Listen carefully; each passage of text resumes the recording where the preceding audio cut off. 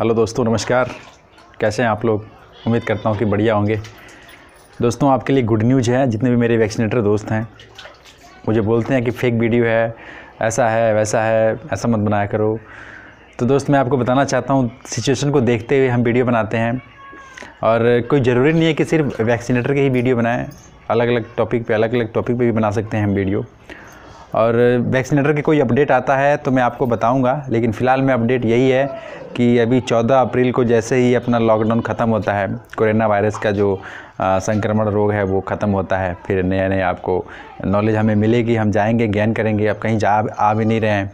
अब घर में रह रहे हैं, फिर क्या करें यार? आप लोग कहते हो कि आप वीडियो नहीं डालते हो इसमें बकवास लिखते हो। तो यार, मैं आपको बताना चाहता हूँ कि रेलवे वाला जो एक न्यूज़ है कि चौदह तारीख को जल्दी ही मतलब रेलवे ट्रेन अपना चालू कर देगा चौदह तारीख के बाद लॉकडाउन के बाद। ठीक है? तो बाकी आप अफवाहों से बचें आप सोचते हैं कि इधर उधर से ये से हो जाएगा। कुछ नहीं होगा दोस्त। बस इसका एक ही उपाय है कि आपको घर के अंदर रहना है और घर के अंदर रहेंगे तभी जाके आपका सुरक्षित रहेंगे।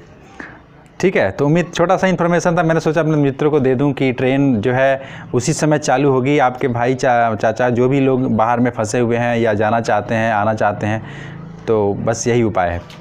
उम्मीद करता हूँ कि समझ गए होंगे। अगर अच्छा लगा हो तो लाइक ज़रूर कर देना और सपोर्ट करना सब्सक्राइब करके।